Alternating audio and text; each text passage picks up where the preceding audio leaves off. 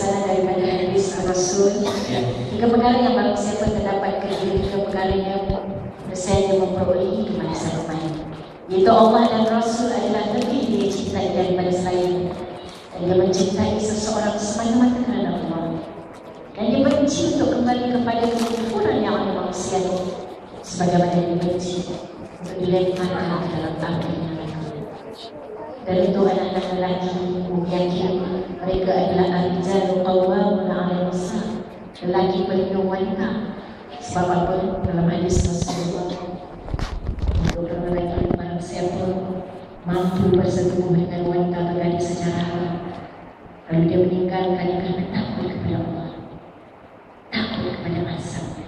Maka Allah pelihara pada hari yang penuh ketakutan yang besar yang kiamat Allah masuk neraka dan Allah memasukkannya ke dalam syurga.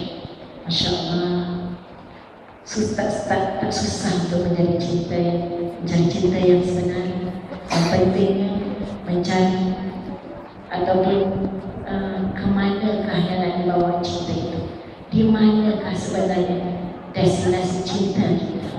Bertemu dengan Allah di syurga insyaAllah.